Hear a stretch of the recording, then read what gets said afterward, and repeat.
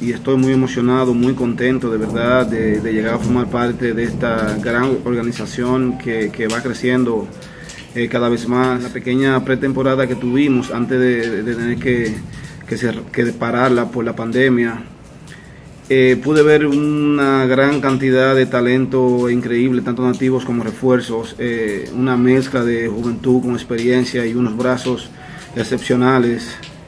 De verdad que, sin lugar a duda nuestro picheo para esta temporada eh, va a darse a notar aportando para, para, el equipo, para lograr esos partidos, esas victorias que se necesitan día con día. En lo personal yo vengo preparado, voy a estar listo física y mentalmente para el Opening Day. Mi enfoque, mi objetivo es poder aportar y que logremos esa clasificación, que es lo primero, Dios mediante, y ya luego ir paso con paso a buscar esa serie del Rey y posteriormente ese campeonato qué es lo que necesitamos.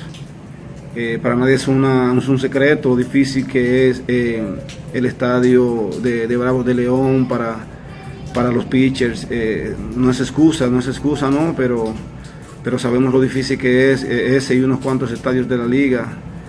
En realidad me ha tocado lanzar en estadios también difíciles como el Foro Sol, el Frainano, el estadio de Oaxaca el año pasado y creo que, es cuestión de, mantenerse enfocado, de, ser tú, de pichar como eres, no pensar en, el play, sino ejecutar y, mantener la bola bajita, claro está, no solamente en esos parques, sino en todos, es, la clave del éxito, creo, sobre todo en ese tipo de parques. Eh, la afición de, León, de verdad que, wow, muy...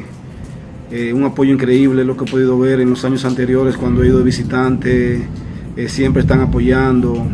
Así que de verdad eh, un saludo, un abrazo a la distancia a esa gran afición de León, esperando eh, que muy pronto podemos estar todos juntos disfrutando de lo que amamos que es el béisbol.